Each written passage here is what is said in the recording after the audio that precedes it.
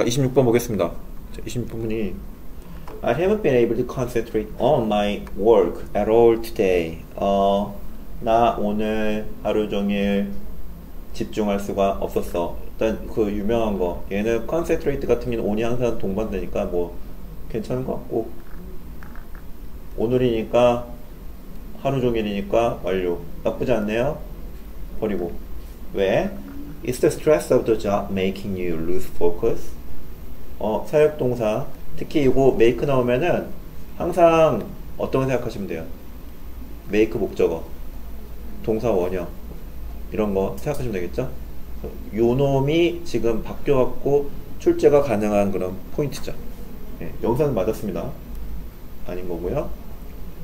그랬더니 어, 어, is stress? 스트레스 있니? 뭐 일에 대한 일, 뭐, 뭐 어떻게 너가 지금 집중을 못하게끔 만드냐 어, 그런 일이 있냐? 아니 I keep getting. Keep ing. 괜찮죠? 어, 나는 keep ing 하고 있어. 그러니까 계속 전화를 받고 있어요. 어, 뭐 하는 거예요? 나에게 요구하는 전화예요. Me to ask 목적어 투부 정사. 괜찮은데요? by random products. 남은 건 이제 얘인데.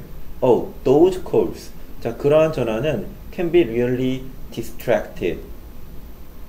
정신이 산만되어질 수 있다. 아니면은 그 내가 정신이 산만하게 되는 거고요. 이러한 전화들이 나를 정신을 산만하게 만드는 거니까 distracting이 되겠네요. 어 결론은.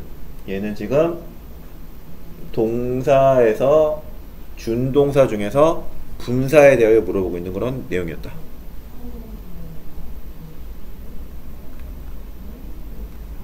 오케이.